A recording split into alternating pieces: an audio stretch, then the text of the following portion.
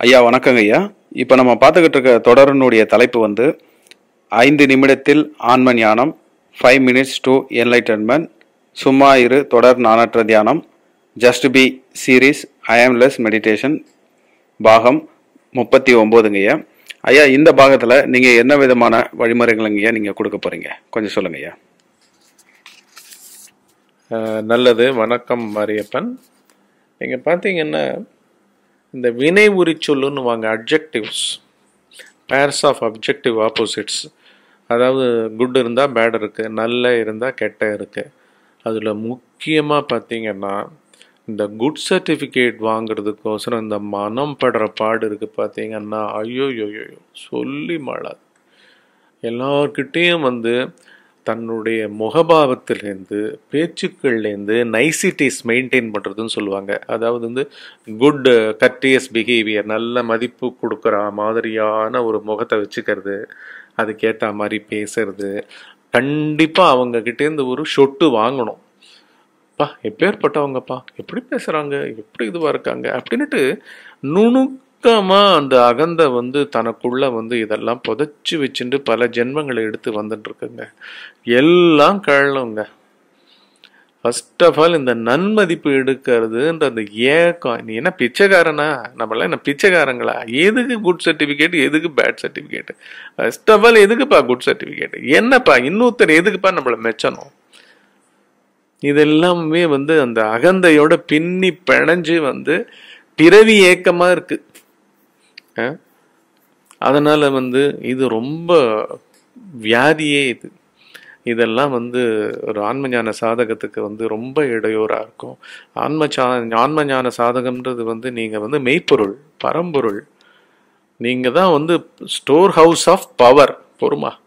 உங்ககிட்டேருந்து தான் அனைத்து சக்திகளும் வெளிப்படுறது. அப்பேற்பட்ட பொருள் வந்து இப்படி விழிப்பு நிலையில் பிச்சைக்காரனா யார் யார்கிட்டயோ நன்மதிப்புன்னு சொல்லிட்டு தன்னைத்தானே இதுக்கு வந்து எவ்வளோ வேணாலும் வந்து கஷ்டப்படுவாங்க. கஷ்டத்துக்கு ஆட்படுத்திப்பாங்க. தயவு செஞ்சு இதெல்லாம் பார்க்கப்படணும். இப்போ பண்ண போகிற ஐந்து நிமிட தியானத்தில் நீங்கள் பார்க்குறது இதுதான். யாருக்கு என்ன வேணும்னு கேளுங்க. ஏதாவது எண்ணம் வந்ததுன்னா நாளைக்கு வந்து இதை வந்து இப்படி பண்ணிடலாம் அப்படின்னு ஏதாவது திட்டம் போட்டால் இந்த ரிஹர்சல் எதுக்கு பண்ணுறேன்னு கேளுங்க. இந்த ட்ராமா அவன் நடிக்க போகிற நாளைக்கத்தால அவங்கக்கிட்ட என்ன உனக்கு சர்டிஃபிகேட் வேணும்? என்ன நல்ல இமேஜ் வேணும்? பேசாமல் இருக்கியா? எந்த இமேஜும் வேணாம். குட்டும் வேண்டாம் பேடும் வேணாம். எதுவுமே வேண்டாம்ப்பா அப்படின்ற பாவத்தில் இருக்க முடியாதா? இதுக்கோசரம் ஒரு திங்கிங் மிஷினரியை ஓயாம சுழல விட்டுன்னு இருக்கிறவங்க எத்தனையோ கோடானு கோடி பேர் அதுலேருந்து விடுபடுறதுக்கு தான் இந்த ஐந்து நிமிட தியானம் நீங்க பண்ண போறீங்க. என்ன பண்ண போறீங்க? கண்ணை மூடுவீங்க. வழக்கமான உங்க ஹீரோ வந்துருவாரு. அந்த ஹீரோயிக் ஃபெட்ரைட்ஸ் எல்லாம் அவர்கிட்ட அந்த குணாதிசயங்கள்லாம் அவர்கிட்டேருந்து வெளிப்படுத்துகிற மாதிரி எல்லாம் ரிஹர்சல் நடக்க ஆரம்பிக்கும். இங்கே திட்டம் போடுறதுக்கு நீங்கள் உட்காரல. திட்டம் போடுறவனையே தூக்குறதுக்கு உட்காடுறோம் அதனால் நோ நல்ல சர்டிஃபிகேட் எந்த மதிப்பீடும் எனக்கு வேண்டாம். நல்லதும் வேண்டாம் கெட்டது வேண்டான்னே சொல்ல வேண்டாம். அவன் கொடுத்தா நீங்கள் என்ன பண்ண முடியும்? உங்களை. கெட்டவன் சொன்னான் அதனால் வந்து அதை பற்றியும் எனக்கு அக்கறை இல்லை. அப்படின்னு you strip your self of all இது images positive images good images எல்லாம். இந்த மாதிரிலாம் ஒன்றும் கிடையாதுப்பா. ஏன்னா உண்மையான நான் சொல்லப்படுற. நீங்கள் பரம்பொருள்ப்பா கடவுளர்ப்பா ஆழ்ந்த உறக்கத்தில் எதுவுமே கிடையாதுப்பா. உங்களுக்கு அப்ஜெக்டிவ்ஸே கிடையாது. பேர்ஸ் ஆஃப் ஆப்போசிட்ஸில் அப்ஜெக்டிவ்ஸே கிடையாது. இதெல்லாம் உலகத்தால் கற்பிக்கப்பட்டது. அதனால் வந்து இதெல்லாம் சுமையாக வச்சுக்கிட்டு இதுக்கோசரம் ஏங்கி வாழ்க்கை நடத்துறது மகா கேவலம். தயவு செஞ்சு நல்லா டீப்பாக உணருங்க. உங்கள் உணர்வில் பாவத்தில் உணர்ச்சிகளில் எண்ணங்களில் திரிக்கிற அத்தனை நல்லதனத்துக்கு ஏங்குற அத்தனை பாவங்களையும் தூக்குங்க உங்ககிட்டேருந்து இதை தான் நீங்கள் பண்ண போகிறீங்க அடுத்த ஐந்து நிமிஷத்துக்கு பண்ணி பண்ணி பண்ணி பழக போகிறீங்க ஒவ்வொரு தியானத்துக்கும் அடிக்கடி வந்து வந்து திறந்து பாருங்க. லட்சம் தடவை பார்த்து பார்த்து ஊறுங்க. ஏன்னா உள்ளே போக வேண்டிய பாதை வந்து தூரம் கிடையாது. ஆழம் ஆழம். என்ன ஆழம்? புடம் போடணும். யாரும் கிடையாது உள்ள.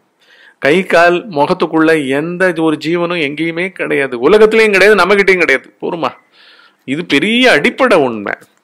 அதனால வந்து அப்பேற்பட்ட உண்மையை தரிசிக்கணும்னா நம்மளை வந்து தூய கண்ணாடி போல நம்ம பரம்பொருள் நம்மக்கிட்ட கிட்ட ரெஃப்ளெக்ட் ஆகிற மாதிரி நம்மள வச்சுக்கணும். இதுதான் நீங்கள் பண்ண போகிற ஐந்து நிமிட நானற்ற தியானம். அடிக்கடி பண்ணுங்க. நல்லா பவர்ஃபுல்லான தியானம் இது. நானற்ற தியானம் இது. அடுத்த நானற்ற தியானத்தில் சந்திப்போம். இதே தானே ஸ்டாப்